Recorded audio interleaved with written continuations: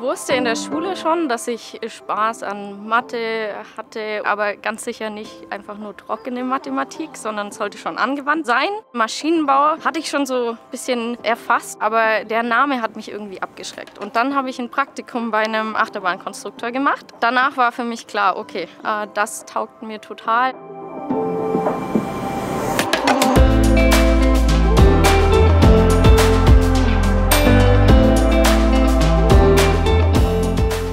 Bei den Achterbahnen immer schon fasziniert, was macht es mit dem eigentlichen Körper Richtung Human Motion Kinetics und diese ganzen wirklich mehr Richtung Biomechanik.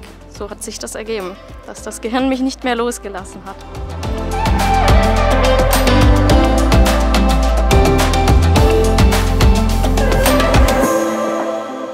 Also wenn die Mechanik schief geht während der Entwicklung im Mutterbauch, ist das Gehirn nicht richtig gefaltet und dann gibt es eben neurologische Störungen. Wo wir unterstützen können, ist, dass man MRT-Bilder zusammenbringt mit histologischen Untersuchungen, neuropathologisch und wirklich herausfindet, jetzt sehe ich am Ende das Gehirn, was falsch gefaltet ist. Wo kommt es her? Zum Beispiel ein chirurgischer Eingriff, wo man dann den Teil bei Epilepsie-Patienten entnimmt, der betroffen ist. Man muss aber natürlich vorher wissen, welcher Teil ist das, weil nur dann ist das Ganze erfolgreich.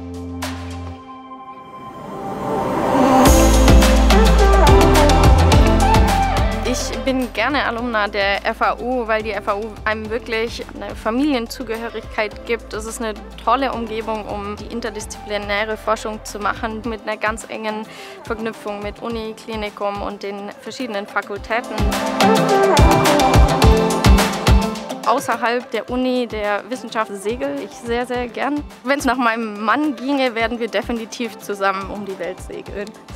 Das ist dann die Frage, was verändert sich im Gehirn während des Segelns.